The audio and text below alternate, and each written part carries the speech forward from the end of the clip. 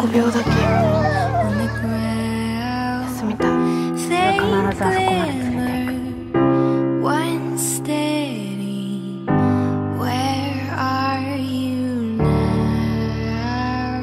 誰にも渡さない。パパは誰にも渡さない。絶対に渡さない。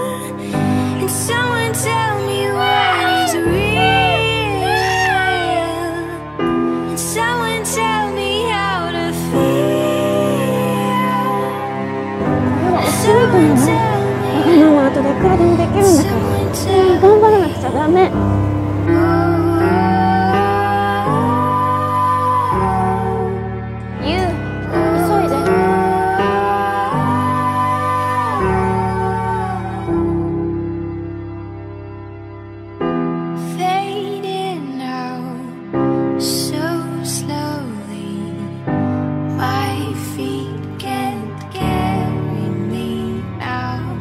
すごく寂しいけど今はちょっとだけ嬉しいよ。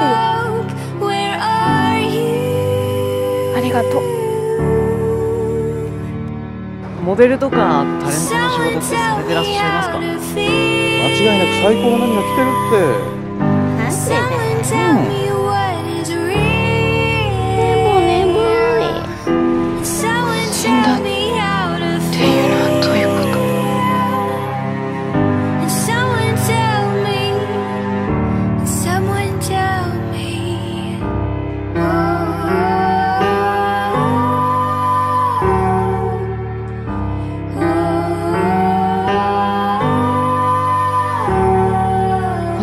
に言ってなかった。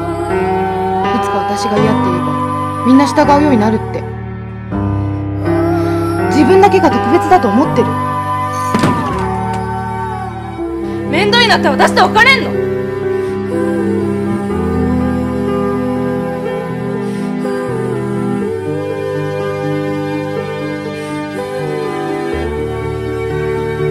それでも僕はずっとそばにいるよ